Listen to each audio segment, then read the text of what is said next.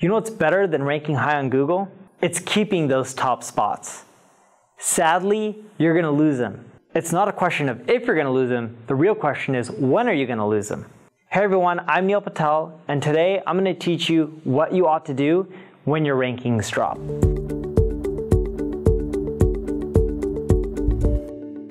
Everyone experiences this. I've been an SEO for roughly 16 years now, and I can tell you, I don't care if you're an SEO god, your rankings are gonna drop. It's just a question of when and how much are they gonna drop by.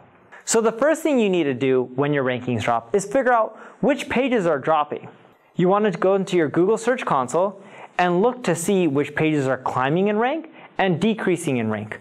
Google Search Console shows you the average position for each of your keywords and phrases. They also show you the average position for any page that you're trying to rank. If you see the graph going up, you're doing well. If the graph is flat or going down, especially if it's going down, you may have to do some work. Look at the top sites that rank for those phrases. Look at their content. What's different about their content versus your content?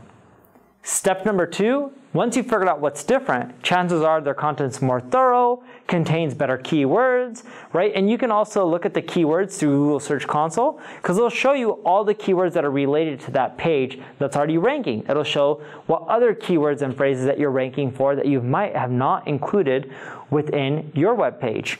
In the step two, you want to go and redo your page. Include all the right keywords and phrases, make it better than the competitions, make it more thorough, in essence, you're updating it. Step number three, take that page, make sure your title tag and your meta description also contains a keyword that you want to rank for. And then when you do that, you want to submit that URL to Google Search Console. Once you submit it to Google Search Console, it'll index the page, and then within a week to a month, your ranking should start climbing back and you'll start doing better. It's that simple, follow those steps, and you'll continually rank high. Even if your rankings drop every once in a while, it's okay. The most important thing is to continually update and adjust your pages so that way you can climb back into the rankings. Because Google doesn't want to rank old, stale content. They want to rank the best of the best. So continually be on top of your game.